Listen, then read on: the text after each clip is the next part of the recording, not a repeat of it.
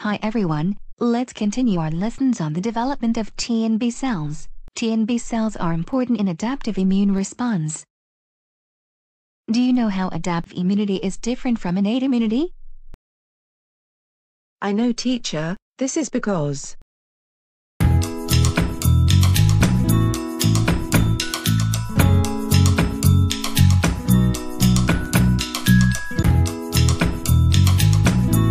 T and B cells in our body are developed.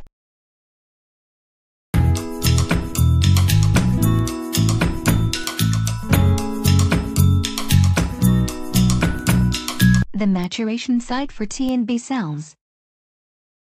The maturation site for T cells is the thymus.